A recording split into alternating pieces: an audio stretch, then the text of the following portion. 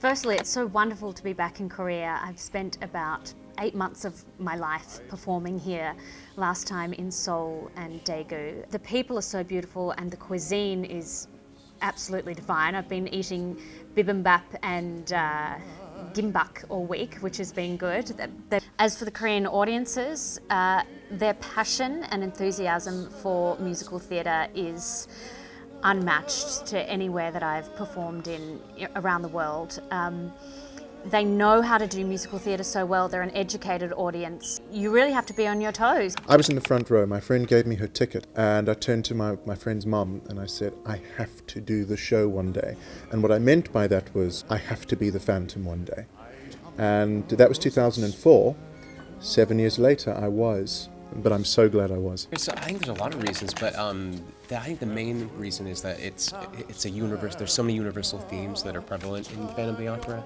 There's um, there's love, there's um, there's loss, there's jealousy, and we can all relate to one or more of the characters in Phantom of the Opera.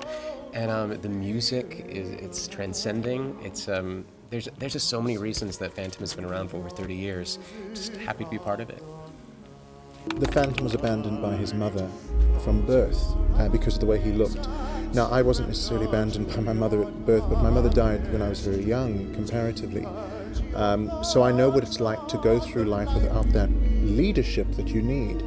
Um, and in a very strange way, the show helps me reclaim a relationship with my mother because I feel her every performance, certainly. Um, so it's it's a gift in that sense for me. The, the, the show's quite therapeutic for me to do, and it's it's why I'm happy to do this, you know, indefinitely.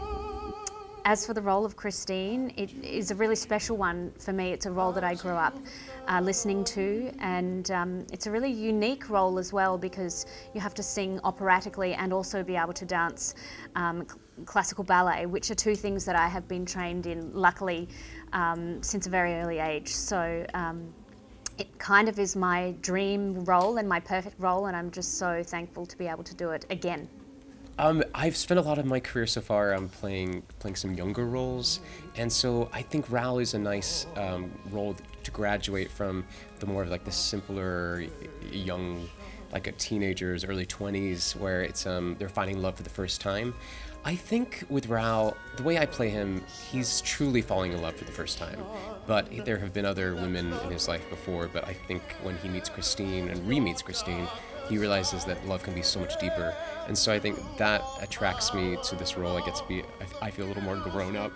I get to, you get to deal with some themes and uh, that are a little more complex. So it's really nice to have a, a character arc to, to go from, you start in one place in the beginning and then end in another place, um, just more fully formed as a human being. So um, it's a treat to get to, to do that. So um, yeah. I think the fact that the Phantom is, he's a dangerous man, but he's not evil in, in the true sense.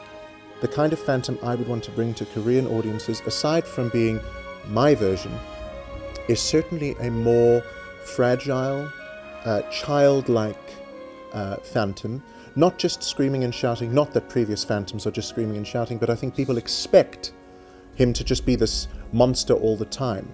Uh, with seven years more life experience under my belt and hopefully bring more depth to Christine uh, than seven years ago.